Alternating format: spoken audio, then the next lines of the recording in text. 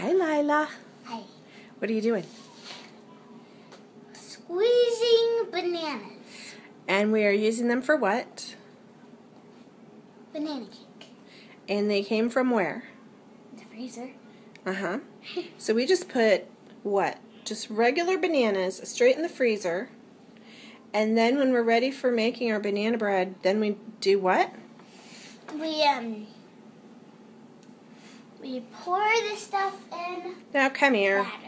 What we're doing right now is just getting the banana out of the thawed bananas, right? hmm Okay, so how's it work? So we take a ban- a rotten banana and cut the top off. Ew. Okay. And then you start at the tip, squeeze gently, and then you go down and see it coming out. Well, your hand's kind of in the way. Ew. See it? Mm-hmm. Ew. It really, my mom said it looks kind of like ice cream, but it looks like squashed bananas that are like in little clumps to me. Mm-hmm. It's So good. now we Stir pretty- it with a fork. to pretty easy to measure. Is it one cup yet? It's not quite. It's almost one cup. So But you just stir it with a fork to make sure that it's mashed up real good, huh? mash, mash, mash. It's good. Okay. Thank you, Lila, for showing us how that works. There's another banana. There's one more. Yes. Are you going to do one more? This one's skinny. Okay.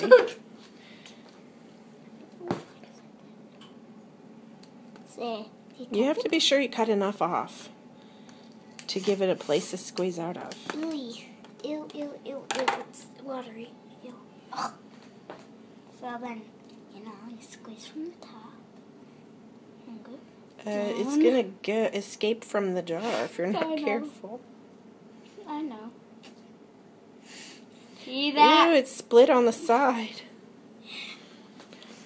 Well, in best case scenario, it works like the first one. Okay. Yeah. Great.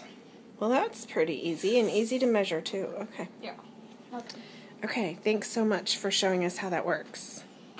Now I'm squeezing it. And Mm. it's coming out of the side. Great. Ew. And this is a banana cake recipe from a recipe book. Okay. d- Wash your hands. Thank you. But making an, another banana cake, we already have one in there. Okay.